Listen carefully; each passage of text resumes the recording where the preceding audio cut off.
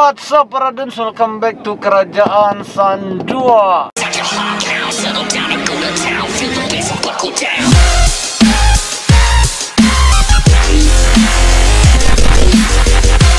Iya para dudes, untuk kali ini kita akan unboxing atau review dadakan ya. Uh, Aku kemarin buat merchandise. Percayain di gen yang store ya Di gen yang sablon ya.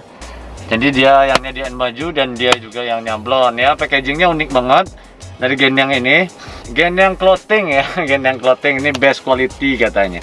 Oke langsung aja kita buka. Uh, Ini aku buat satu, uh, satu buah aja cuman coba dulu. Dan mana tahu besok untuk merchandise kerajaan Sando kita bisa produksi banyak. Nah, Ma Pradons mau kan dengan barang-barang dari kerajaan Sando ini? Oke Pradons uh, baiklah. Kita akan langsung aja buka isi kotak ini. Di dalamnya ada kaos ya. Terus kita dapat uh, dapat apa lagi? Dapat stiker. Stiker gen yang clothing ya. Kita dapat stiker gen yang clothing. Terus tidak udah habis ya kosong. Ada packagingnya kreatif unik ya. Kreatif banget unik banget. Ya dari gen yang clothing ini. Oke para duns langsung aja kita buka. Ini kaosnya aku pakai ya itu 30s ya. Pokoknya aku mau combat 30s warnanya yellow baby. Oke warna yellow baby ini yellow baby warna kuningnya kuning yang pucat ya. Ini suka banget aku dengan di sini ada sablonnya yaitu logo kerajaan San 2 yaitu ular. Dan ini size nya L ya. Ini bisa tagnya bisa dirobek ini kaos polos biasa. Jahitannya kita lihat. Wah bahannya bagus Dun kualitas bahannya keren banget. Kualitasnya adem banget halus banget kerapatannya mantap dan jahitannya rapi banget untuk uh, gen yang ini bagus. Jempol untuk gen yang ini. Ini dilihat di sini jahitannya bagus. Pokoknya kaosnya kaosnya kaosnya bagus. Kualitas kaosnya lumayan ya. Mantap. Standar distro dan jahitan di keteknya nyambung. Terus di bawahnya dikasih bordir lagi di sininya.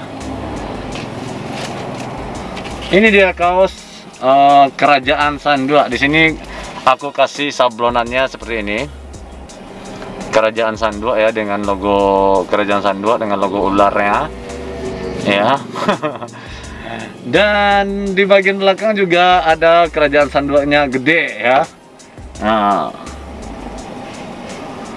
Ya, ini dia.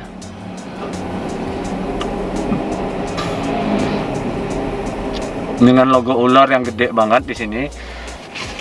Sablonannya ini dia pakai uh, rubber ya, tapi rubbernya yang bagus ya. Overall sih keren ya. Bahannya adem, keren. Kerajaan sanduaknya rapi. Di bagian kepala ularnya ini rapi juga. Nah, oke okay, nampak ya, Dons? ini kepala ularnya dan ini ularnya Oke Dun, situ dia review singkat dari baju kerajaan Sando ini ya. Ini keren ya. Di depannya kecil ya, terus di belakangnya gede. Gambarnya ini, gambar kerajaan Sandonya. Dan overall ya, ya mantap lah.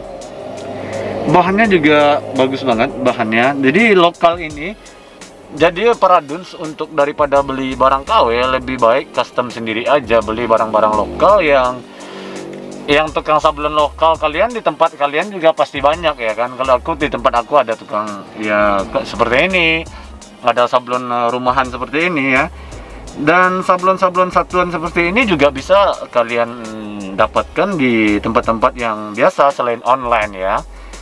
Online juga bisa. Jadi untuk apa beli-beli barang yang KW atau yang fake?